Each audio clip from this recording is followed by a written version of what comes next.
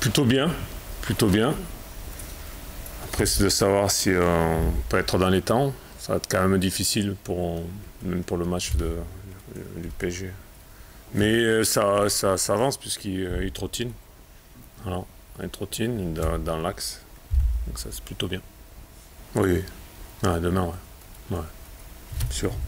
Ouais, avec la, la, suspension de, de Mathéus, c'est déjà beaucoup. Euh, là, non, ça va. Plutôt bien. On est revenu euh, sans pépin et plutôt bien. Euh, bonne récupération. Ouais. C'est clair. et là, il va falloir être très créatif. Voilà. Donc, il y a, des solutions à trouver. Voilà. On va essayer ça cet après-midi. On va essayer des petits. On a peu de temps, mais on s'adaptera. C'est vrai que c'est pas facile. Ça fait partie de la réflexion. Après, c'est vrai que c'est euh, pas évident, c'est de savoir si euh, ça va être bien pour l'équipe, est-ce que ça va être bien pour eux. Euh, même si ça peut être une association plutôt performante parce qu'ils se connaissent bien. Maintenant, le niveau, c'est pas le niveau de National 2, c'est autre chose. Euh, le contexte, c'est autre chose. Il y a beaucoup de choses qui sont, qui sont différentes. Donc, la réflexion s'est posée. Maintenant, c'est vrai que ce n'est pas, le plus simple, hein, c'est sûr. Oui, oui, sur les, sur les, sur matchs amicaux. Euh, bon, bon défenseur, euh, qui a besoin encore de, trouver de, la concentration sur, sur des, des, périodes assez longues. Voilà, tout un match, etc. Voilà. Après, euh, travailler sur sur la relance, c'est ce qu'on sait faire avec lui euh, depuis, euh, depuis un bout de temps, depuis qu'on l'a récupéré. Donc, euh, c'est un défenseur assez solide, rugueux, euh, qui peut être euh, très efficace aussi dans, dans les airs. Maintenant, on sent qu'il a besoin d'avoir plus de consistance dans, dans, dans, ce qu'il fait, et puis après une continuité sur tout le match. Maxime, oui, c'est un un petit peu différent. Maxime est très très concentré et capable de rester concentré sur, sur tout le match. Voilà, il n'a pas eu de, de saute de concentration. Euh, il, reste présent sur, sur, toutes les actions, même quand, il n'est pas concerné par l'action. Donc ça, c'est intéressant. C'est un peu le souci qu'on peut avoir avec des jeunes joueurs qui arrivent de, plus bas, c'est-à-dire qu'il y a des, relâchements parce qu'ils ne participent pas à l'action et qu'après, ils sont surpris. Donc, euh, c'est pas évident de, de, de trouver cette... Euh, cette concentration quand on n'a pas l'habitude. Voilà, c'est ça. Le travail, est, il, il, est là, euh, avec, euh, avec Alal, surtout. Oui, il y, a, il y a cette solution-là, et euh, la solution avec Nico Kozza aussi dans, dans l'axe. Voilà, il y a les, il y a, on a trois, trois solutions qui, où il faudra, il faudra trancher. Mais effectivement, ça peut être aussi une, une solution. Oh on a tout, étudié. Faites-nous confiance. En tout cas, ce ne sera pas annoncé aujourd'hui. Euh, aux joueurs ouais, Je vais en parler avec, euh, certains euh, là-dessus pour voir les éventualités on tranchera demain. Ouais. J'aime bien parler aux joueurs euh, individuellement là-dessus. Quand tu veux téléphoner aux joueurs pour savoir après. Non, c'est ça. Ah, ma, réflexion est sur Bordeaux, à fond, c'est sûr. Comme le match d'avant, on était à fond sur, sur les stacks. Non, non, on est vraiment à fond sur, sur Bordeaux ça, devient un match important. Quand euh, voilà, on joue PSG après, euh, on a envie d'y aller avec euh, un peu plus de légèreté au Parc des Princes. Donc ce match-là est, est, primordial pour nous dans notre semaine de trois matchs.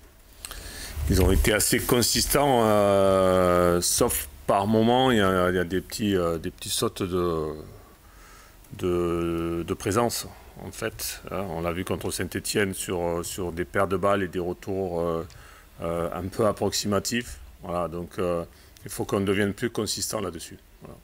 Parce qu'on sait qu'on peut avoir un jeu à risque. Euh, par contre, il faut minimiser le risque. Donc les réactions à la perte doivent être plus puissantes, les retours plus puissants. Et la présence encore, euh, voilà, ce que j'appelle moi, la présence, c'est voilà, cette concentration constante que l'on doit avoir. Parce que des fois, je trouve que l'équipe, elle est, elle est plutôt très optimiste, c'est-à-dire qu'on va vers l'avant et euh, on pense qu'on va gagner les duels, on pense qu'on va faire toutes les, les bonnes passes qu'il faut, sans trop se prémunir au niveau défensif. Donc là, encore du, euh, du travail là-dessus. C'est un peu les deux. C'est un peu les deux. C'est-à-dire que on a senti, euh, à part les dix premières minutes euh, à l'Estac, où on, est bien rentré dans, le match et euh, on a vraiment défendu en avançant, on a, été, efficace, on a récupéré les ballons. Après, on s'est un peu étiolé parce qu'il y a eu moins de, courses vers l'avant, il y a eu moins de dépenses d'énergie, un peu quelques erreurs. Donc en fait, c'était un, petit peu général. on a vu que sur la deuxième mi-temps, ça, avait été, euh, corrigé, c'était un, petit peu mieux. Et je pense que Flo, lui, il a été un petit peu pareil dans, les mêmes attitudes. Donc bien démarré, mais après, euh, il est venu beaucoup décrocher, euh, il est venu bas, chercher le ballon. Et ce c'est pas dans ce secteur-là qu'il est le, plus, efficace. Donc on, a revu, on a revu les, les extraits de match et les séquences là-dessus. Euh, sur, euh, sur son placement. C'est sûr que c'est un garçon qui a besoin d'être plus euh, axial, mais qui peut jouer sur ce poste-là. Voilà, moi je pense que c'est juste une, question déjà de réflexion de, sa part, de discussion avec, le, staff et de pouvoir articuler avec, les joueurs autour de lui. Voilà, il y a, vraiment, c'est surtout son, placement et puis après, à partir de là, son, premier positionnement, ses déplacements qui sont importants. Et là, sur la première mi-temps, euh, il a été moins efficace parce qu'il euh, descendait trop bas. Ouais, c'est des choix. C'est des choix, effectivement. Il y a des choix. Soit on percute, on met des joueurs de percussion, euh, comme on a mis contre, contre Saint-Etienne, soit on met des, des, joueurs qui sont plus à l'intérieur du jeu. Après, on a aussi Valère qui peut, qui peut faire les deux, hein, qui est capable de jouer dos au but, mais qui peut aller dans la profondeur c'est des choix que, euh, voilà, conscients de, notre part qu'on doit faire là-dessus. Il y a aussi euh, de regarder euh, l'expérience que peut avoir un garçon comme Flo par rapport à des jeunes joueurs qui, qui débarquent. Je parle de, Nico, voilà, qui, qui, vient d'arriver, qui est efficace quand il rentre. Et c'est pas sûr qu'il ait la même efficacité que, que lorsqu'il démarre le match. Pareil pour, euh, pour euh, c'est un peu la, même, la même chose. Ils ont besoin encore d'étoffer leur, leur jeu. On, compte sur eux, en fait. On aura besoin d'avoir, euh, d'avoir ces joueurs-là. Euh, alors, c'est pas dit que, que demain, voilà, ils soient, ils soient pas dedans non plus. Voilà, parce qu'on sait qu'ils nous amènent une certaine percussion. Mais il faut que leur match soit plus consistant, en fait. Bon, la seule surprise que je peux avoir, c'est la rapidité avec euh, laquelle il a, pris euh, le surplus de leadership qui, euh, qui, qui, avait à prendre. Voilà, c'est surtout ça, quoi. Parce que bon, déjà, il avait quand même beaucoup d'influence sur, le groupe, autant à l'extérieur dans, les vestiaires hein, que à l'intérieur du jeu. donc ça, bah, il n'y a, pas de, a pas de surprise, mais c'est vrai qu'il amène il amène beaucoup d'allant, il amène beaucoup de, courage. Dans son sillage, il y a beaucoup de monde qui, euh, qui viennent derrière. Après, il y a des garçons comme, euh, comme Jordan Ferry aussi qui, qui appuient derrière, qui ont pris, euh, qui ont pris un peu plus d'ampleur. Et ça, c'est vraiment bien parce que ça a été assez rapide. Ça aurait pu prendre beaucoup plus de temps. C'est pour ça qu'il il y a aussi les, les autres joueurs de comme, euh, comme comme euh, Jordan, comme euh, même des garçons plus jeunes comme, comme Chotard, des, garçons qui, qui, peuvent venir. voilà, on attend aussi des garçons comme, comme Arnaud, Souquet. C'est des garçons qui doivent aussi amener quelque chose, bien sûr. Voilà, après, chacun avec sa, à sa manière. Voilà, TJ à la sienne, Jordan à la sienne. Voilà, donc, mais effectivement, que ce soit dans le jeu ou euh, dans, le management euh, de l'équipe, euh, ils ont tous à amener quelque chose en plus. Voilà, c'est sûr qu'il ne faudra pas qu'il y ait qu'un seul joueur qui amène. Mais je ne pense pas qu'il y ait, qu'un seul joueur. Je pense que TJ est en tête de proue, mais il est quand même bien, bien secondé autour de, autour de lui. Quoi. Persuadé, c'est pas le mot. C'est pas persuadé. On a discuté sur, sur le positionnement. Je dit qu'aussi, il pourrait revenir à un certain rôle plus, plus défensif, d'organisation un peu, un peu plus bas. Voilà, ce que je veux, c'est qu'on trouve le, bon équilibre. On a vu qu'il était revenu aussi euh, un peu plus bas contre, contre les stacks. Voilà. Maintenant, s'il revient un peu plus bas, automatiquement, il doit avoir d'autres mouvements, d'autres joueurs autour. Voilà. C'est toute l'organisation qu'on met en place autour de lui. Mais c'est pas le mot persuadé, ou alors il a été persuadé très rapidement, quoi. En tout cas, ça c'est clair. Oui. oui. oui, tout à fait. Il y a beaucoup plus de maturité dans, dans son jeu. Je pense qu'il y a moins de déperdition aussi à, à, discuter. voilà. Je pense qu'il il, va discuter avec l'arbitre. Ça aussi, c'est des choses qu'on a, qu'on a discuté nous ensemble là-dessus.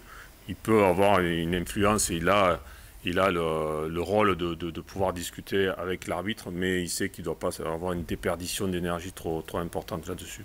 Donc je pense que déjà là, par rapport à il y a quelques, années, il y a, je pense qu'il y a une grosse évolution qui est un petit peu logique avec la maturité. Bon, sincèrement, j'ai pas eu euh, besoin d'intervenir là-dessus. Il a exprimé euh, voilà, sa, rancœur là-dessus. Voilà, une sorte de petite injustice qui en est une ou pas une, voilà, parce que peut-être il a, il a certainement touché le, joueur, c'est vraiment involontaire. Mais euh, non, non, non, je n'ai pas, pas, pas craint, sincèrement, j'ai pas craint là-dessus. Je pense pas qu'aujourd'hui il soit, voilà, je le dis aujourd'hui, qu'il soit dans une dans, des moments où il puisse euh, vraiment se faire expulser par rapport à ça. Quoi. Non, non, je pense qu'il arrive à, Voilà, il a dit les choses, il, s'est exprimé, mais bon, euh, avec, euh, j'allais dire, prudence. Ah bah, quand tu changes beaucoup à l'intersaison, tu as des soubresauts sur ton début de saison, hein, c'est logique. C'est un club qui est en recomposition, il y a des nouveaux joueurs, il y a des anciens qui sont restés, il faut trouver, il y a un nouveau coach, euh, c'est pas c'est pas simple hein, de régler une équipe, ça prend ça prend du temps. Donc euh, logiquement, ils vont se remettre en, ordre de, marche. Après, s'ils pouvaient se remettre en ordre de marche un peu plus tard, ça nous arrangerait bien. Mais euh, c'est pas pas une équipe qui est pour moi à sa place. Automatiquement, elle sera certainement plus haute quand quand dire tout sera calmé un petit peu en, interne et puis que le coach bon là il commence à il connaît son groupe, il commence à pouvoir euh, s'appuyer sur certains, et voilà, ça va se construire. Ouais, alors sur les coups de pied arrêtés, euh, ils sont quand même bien organisés, hein, je trouve. Alors, peut être euh, vulnérable demain, mais sur les coups de pied arrêtés, moi je sens plutôt, bon, il y a des gabarits déjà, plutôt sens que c'est une équipe qui a travaillé dessus. après, c'est plus dans le jeu parce qu'il y a eu des changements.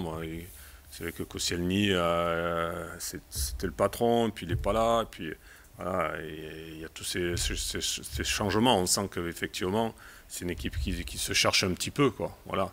Mais euh, moi, je pense que vu de, l'extérieur, euh, ils ont quand même certains arguments. Il y a des garçons qui sont arrivés tardivement, PMBD, tout ça, bon, c'est en train de, s'installer. Donc c'est une équipe qui va, qui va trouver un rythme à un moment donné, certainement. Alors chacun aussi a son rythme. Hein. on a vu des garçons qui sortaient très rapidement, comme Estève, qui, euh, a été obligé d'être plongé dans le grand bain et qui a bien répondu. Euh, d'autres qui, euh, qui mettent un peu plus de temps. D'autres qui, qui arriveront un peu plus tard aussi, hein, je pense.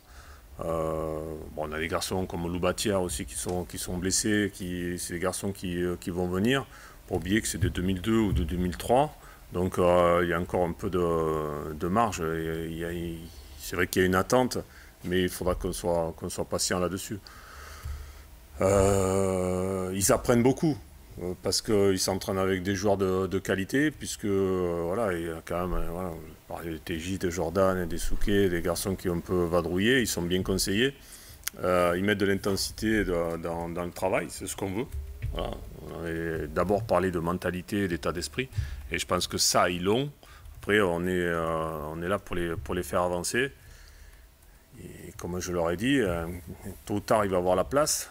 Et euh, il va falloir être là quand on fait appel à vous. C'est surtout ça. Quoi. Ils sont attentifs en tout cas, ils sont attentifs à ce qu'on demande. Donc il y a une, réponse quand même plutôt positive de leur part. Oui, effectivement. Donc euh, les garçons que tu, que tu dis là avaient déjà euh, joué assez, assez régulièrement. Voilà. Différemment, mais voilà.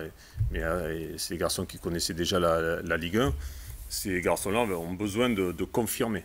Voilà, c'est clair. Donc là, aujourd'hui, on peut vraiment compter sur ces garçons-là en disant, voilà, c'est des, vrais joueurs de, première division. Donc déjà, effectivement, il a commencé avec des débuts canons la saison dernière, en faisant des rentrées d'abord.